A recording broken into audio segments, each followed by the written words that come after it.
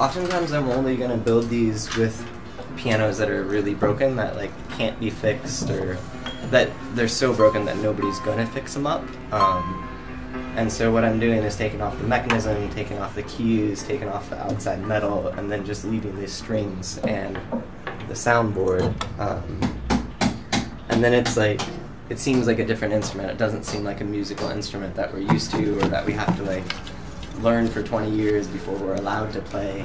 It's just kind of this object.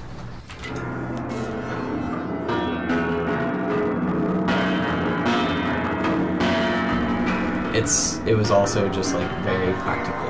Like I I love the environmental aspect of it that you're not like using new stuff and putting more stuff in, but I was able to get a lot of broken pianos there. Pianos in the States are really easy to come by.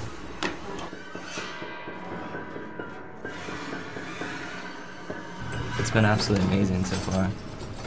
I'm excited to like actually get to build for a little bit.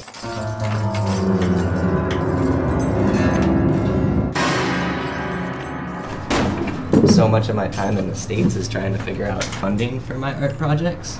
I teach music back in San Francisco, and that's my main income, and that's how I afford a lot of my art if I'm not getting grants and stuff. Is this okay? Ah, she's gone.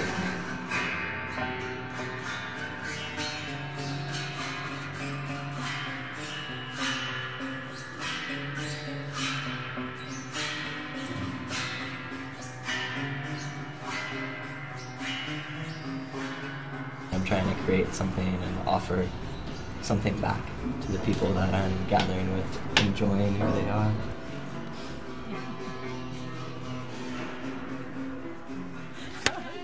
Fun.